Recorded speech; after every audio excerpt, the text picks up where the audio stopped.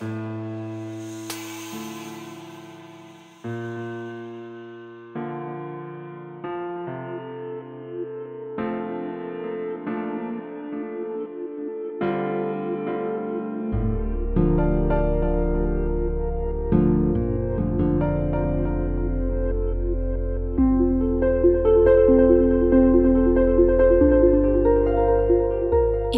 that speak of discreet, almost intimate moments. The secret rooms are revealed, as are their inhabitants.